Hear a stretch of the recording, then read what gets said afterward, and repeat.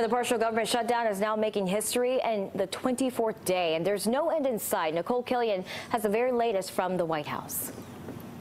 It's already the longest government shutdown in U.S. history, but President Trump says it can't end unless Congress agrees to fund a border wall. We have a priority. It's the safety of our nation. Outside the White House this morning, the president accused congressional Democrats of going AWOL instead of negotiating a deal. I've been here all weekend.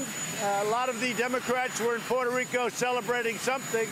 I don't know, maybe they're celebrating the shutdown. The president is referring to a group of lawmakers who went to San Juan to attend the musical Hamilton and see ongoing hurricane relief efforts. House Speaker Nancy Pelosi and Senate Minority Leader Chuck Schumer did not go. Democrats say the government will reopen as soon as the president stops insisting on a wall. What we don't want to do is waste taxpayer money on a vanity project that's ineffective that the president said Mexico would pay for. Republican Senator Lindsey Graham suggested temporarily reopening the government to give lawmakers a chance to craft a compromise. That was a suggestion that Lindsey made, but I did I did reject it, yes. I, I'm not interested. I want to get it solved. I don't want to just delay it. I want to get it solved. A new CBS poll shows 70% of Americans are worried the shutdown will hurt the economy. Nearly half blame the shutdown on the president.